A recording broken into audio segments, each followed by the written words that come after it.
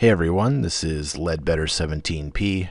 Today's tech tutorial video, we're going to show you how to take texture packs and put them into your Minecraft. For example, uh, my Minecraft, I use this texture pack right here. This is LB Photorealism. It's the 128 by 128.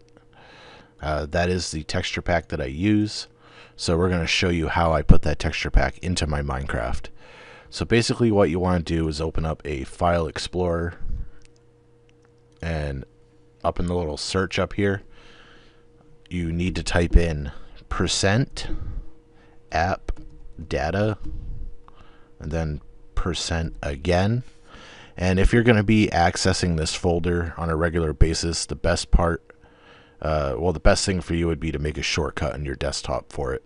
That way you don't have to type it in every time but once you have that already loaded up, you'll see a dot Minecraft folder. Go ahead and open that, and then you'll see a resource packs folder. You want to go ahead and open that. And as you see, I already have my LB Photorealism X128 in there already. So, but say I had an, I didn't say that's not wasn't there, and I wanted to put one in. All you have to do is just drag it uh, from your desktop and drop it in there, the zip file for it. No need to unzip the file or anything, just drag and drop. And then basically that's it. Uh, there is one more step, uh, but we do need to load up Minecraft to show you guys how to do it. So let me get it all loaded up and I will start the video again for you guys.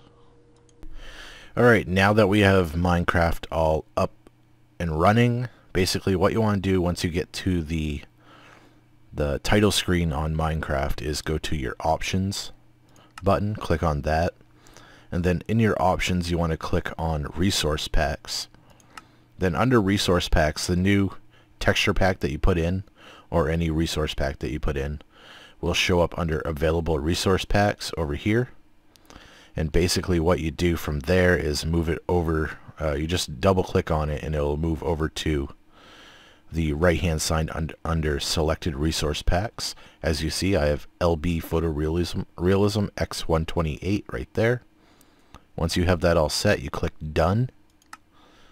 It will take a second to kind of configure itself, but once it's done, you can go back to your screen and you will see that it has changed, and then you just go ahead and go into multiplayer or single player and play your game.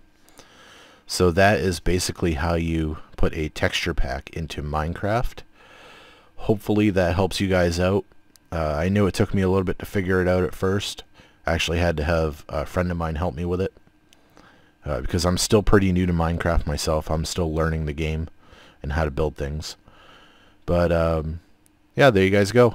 Uh, that's how to put a texture pack in Minecraft. If you guys like what you see, click the like button down below. Leave a comment in the comment section with any questions or concerns. And don't forget to subscribe and share with your friends. So as always, this is Ledbetter17p. Thanks for watching.